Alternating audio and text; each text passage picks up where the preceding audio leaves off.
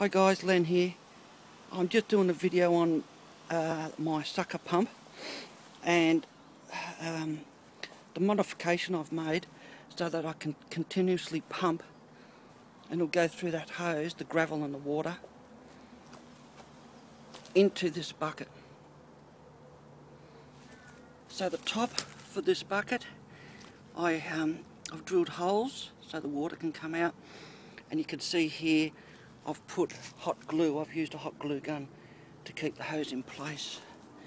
Okay, I'm just going to hand it over to a mate because I want to show you the valve that I've used in my um, pump. So if you just show down here, this is the part that goes on to the valve. This is a valve I've come from the outlet, so it's going to suck up here. I've got another valve on this. I don't know if you can see it down through there but that this this valve will allow water to come in this way right? So it'll come in this way and then close as I go to pump out through this one. When this this one goes onto the hose and into the bucket.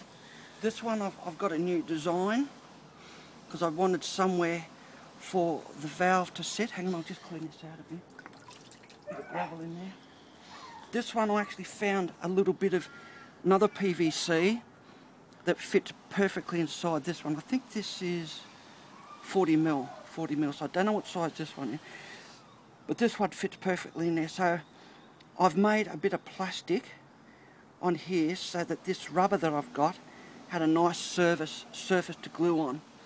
Plus I cut the plastic out to fit around the inside of that on this side so when, the, when I suck back the other way, this rubber will close, allow me to suck up from the other way. So this, I've just been mucking around with valves and this one seems to work really good. So I'm going to show you now how all this works. So I just put this on here. I usually have so the rubber, the bottom part comes out there. And I'll just put this on onto the pump. Now I'll just put the lid on to the bucket. If you could just, This goes on nice and tight. And I usually just put a brick on here. You can put a rock or something when you're in the creek. And now I'll just show you how easy this is. It doesn't need much work at all. And then I'll show you the gravel that'll it'll come up and how quickly the bucket fills up with water. Okay.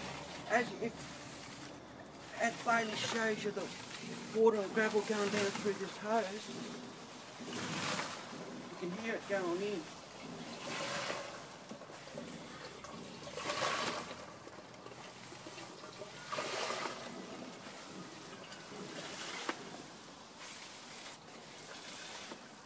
As you can see, the pressure stays in there. I can stop for a while and then I can keep pumping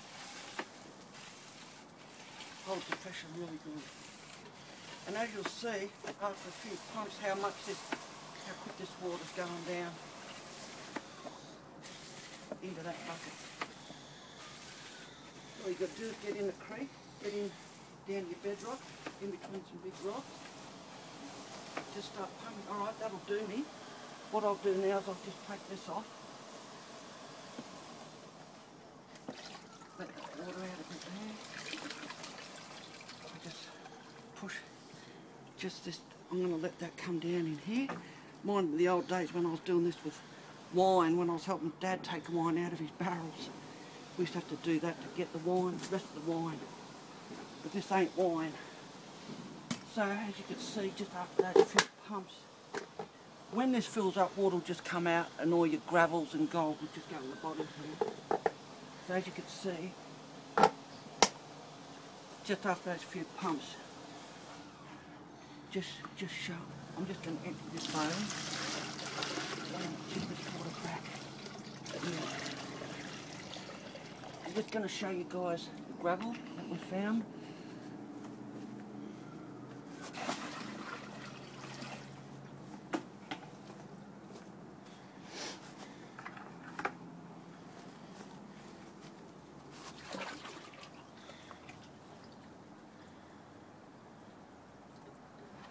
Okay I don't know if you could see that, but that's the gravel that we've just sucked up.